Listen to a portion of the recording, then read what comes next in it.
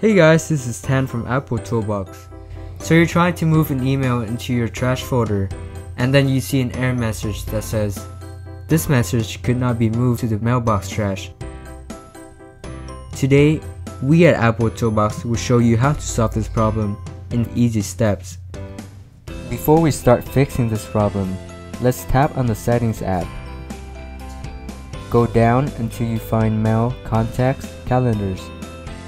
Select the account of your choice. Turn the mail option off. Wait a few seconds, turn it back on. If that doesn't solve the problem, try deleting your account.